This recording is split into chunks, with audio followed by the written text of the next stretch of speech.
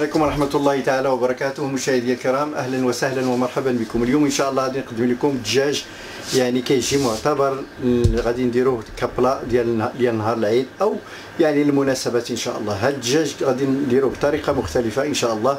اللي غادي تجيكم رائعة ومزيانة. ردوا معايا البال وشوفوا الطريقة وراه اللي داروا وجربوا بهذه الطريقة وتبع الطريقة كلها كما درتها غادي يحصل على واحد النتيجة ما غاديش تصورها بإذن الله. غادي تجي ممتازة إن شاء الله.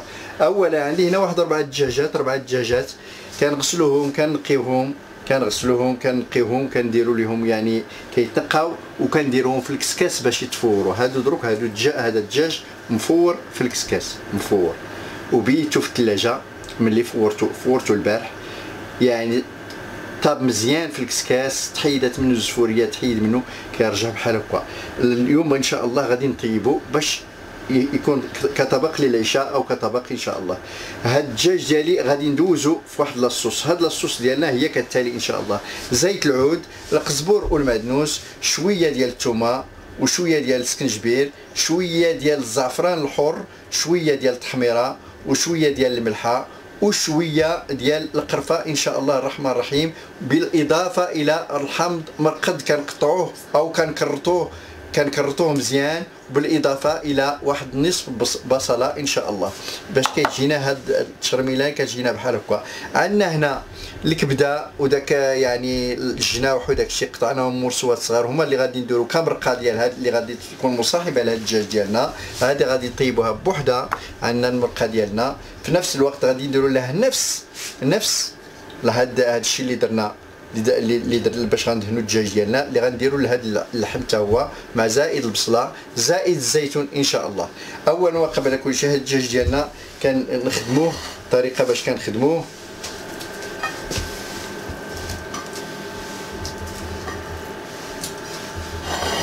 هنا كناخذ الدجاج ديالي ها هو.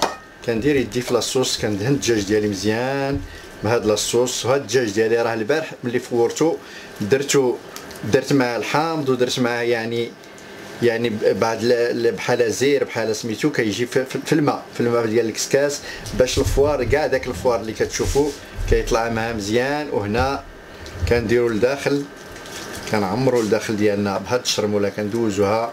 هذا راه الدجاج كيجي معتبر إن شاء الله الرحمن الرحيم. نتمنى منكم تجربوه بهذه الطريقة وما غاديش تندموا عليه إن شاء الله. يعني ما نخليو حتى شي بلاصة كلشي يكون مدهون بهاد لاصوص ديالنا بحال هكا. نظن أنني ما ذكرتش الملحة الملحة حتى هي راه كاينة في هاد لاصوص ديالنا. باش تأكدوا أن هاد لاصوص ديالنا كلها في هادوك المواد اللي بغينا باش يعطيونا مذاق لهاد الدجاج ديالنا اللي غادي يجي رائع. غادي نشوفوا النتيجة إن شاء الله. بكل بساطة السر في هاد الدجاج أنه يعني فورناه فورناه. داكشي علاش غادي يجينا زوين وغادي يجينا ممتاز إن شاء الله. يعني ديجا الصوص ديالنا راه طيبة. يعني ها هو الدجاج ديالنا كلشي مدهون كندهنوه ما كنخليو حتى شي بلاصة. وكنديرو فوق الشبكة بحال هكا ديال الفران ها نتوما. غادي نستفوه فوق واحد الشبكة ديال الفران بحال هكا.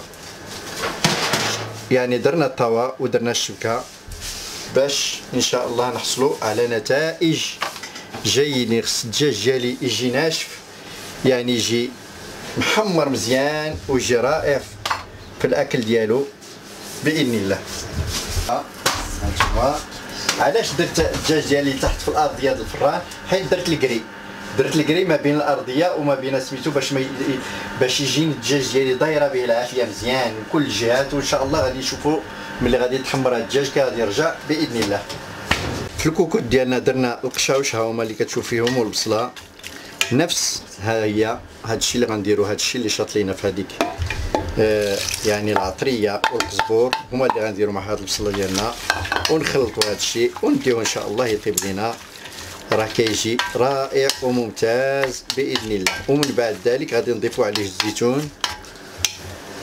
هاد التغميرة ديالنا يعني شا وشو الكبدة كنقادوهم هكا ونخليوه وسط الطوسي الخاوي باش نحطو فيه الدجاج إن شاء الله.